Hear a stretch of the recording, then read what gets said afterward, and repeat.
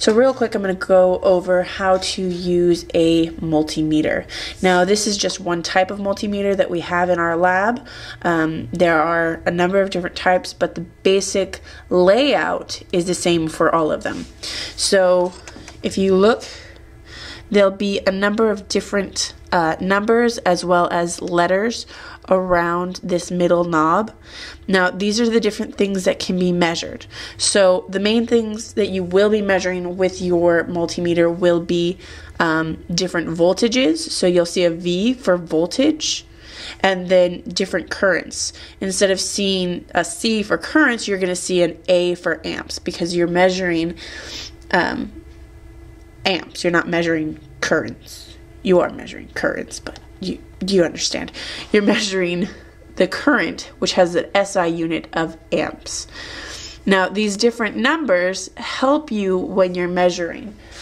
So, I don't know if you can quite see, but here you see a 2, above it is a 20, and then a 200.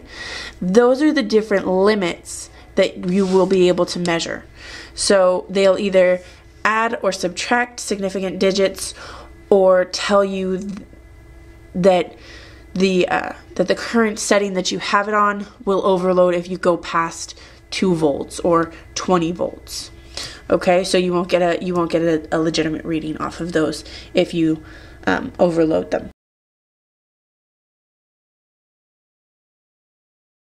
So real quick i'm going to show you how to take a voltage reading as well as a current reading. It's very important that you know what you're reading because it is a different setup with your multimeter. So for a voltage, today I'm just going to set up a real simple circuit. So it'll have power running from the power supply to the resistor, across the resistor, and then back to the power supply. Okay, so you're going to notice that on your power supply, you'll see a red terminal and a black terminal. And then again, I used a red wire and then a black wire to color code.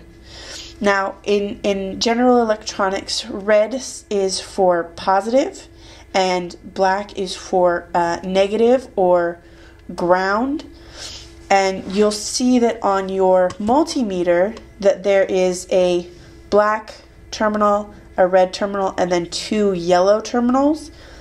For the multimeter, black is your common port, which will be plugged in for all measurements that you take with the multimeter.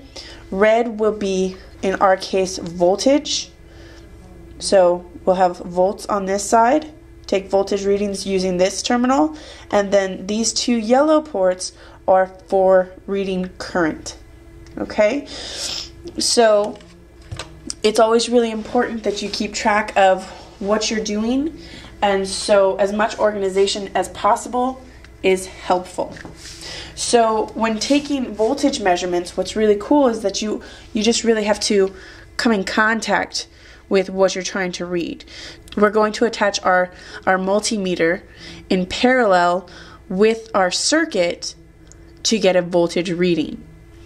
Now, when you are just measuring voltage, your multimeter can also be referred to as a voltmeter.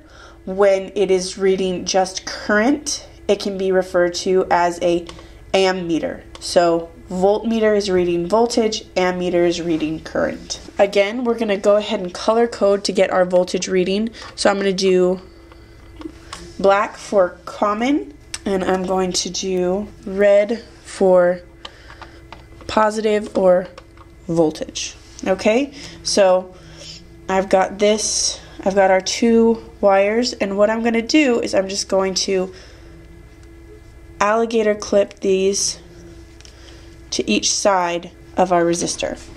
So a good thing to do before you uh, turn on the power or take any measurements is to trace your uh, circuit. So we're going to make sure that our positive or our power is going through our positive terminal, connecting with our resistor, going over our resistor, and then back to the common or ground. Okay, and because we're reading our voltage in parallel, we want to make sure that our our uh, our red cord or our positive uh, cord is plugged into V for voltage. Going to make sure that it goes straight to our resistor, and then our COM is back to our common terminal. So we can go ahead and now turn on the power because we've already traced through, and we will also turn on our our multimeter or voltmeter and I've got about a little bit more than 5 volts running across our resistor right now and so you can see on our multimeter that it's reading 5.66 now if I were to turn it this knob up one we would lose a significant digit. So we would only get point we would get 0.5.6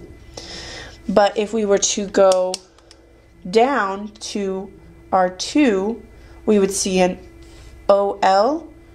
We'd see an OL, which is overload, which means at this at this point you cannot get a significant reading for the voltage that you have running. So we'll go ahead and go back to 20 and see that we have 5.65 volts running. So the next thing I want to show you is how to take a current reading. Um, now the difference between voltage and current is how you how you interact with the circuit. So for taking a voltage reading, we take our uh, we take our reading in parallel with our system. So we kind of piggyback on, and then we go straight to our multimeter. But with with reading current, we have to break our circuit and read and, and have our multimeter jump into it so it is in series with our circuit. So what we're going to do is we're going to break our circuit. So now our, our power goes just straight to this cord. It's not connected to our resistor except for the ground.